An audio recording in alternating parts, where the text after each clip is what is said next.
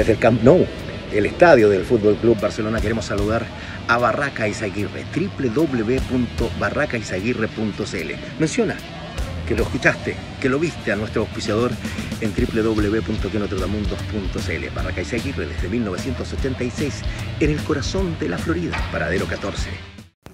Bueno, Gaby, se viene un partido importante contra Cobresal, que además al parecer se va a jugar estadio lleno por todo esto lo que genera Esteban Paredes. Sí, obvio. Esteban genera muchas, muchas cosas aparte de, llenar este, este hermoso estadio, así que no, feliz, feliz de que ojalá se pueda lograr, primero que todo, el objetivo de, ganar, de conseguir los tres puntos y que ojalá sea también de la mano de, los de los dos 16 de Esteban. Es como el mensaje que han transmitido todos, lo decía Aníbal Moza, lo decía eh, el propio entrenador, de que más allá de, todo lo que implica el récord, Esteban está muy preocupado de que el equipo gane, de que el equipo pueda sumar los tres puntos. Sí, eh, yo creo que Esteban hoy y siempre ha sido lo importante para él que el equipo gane.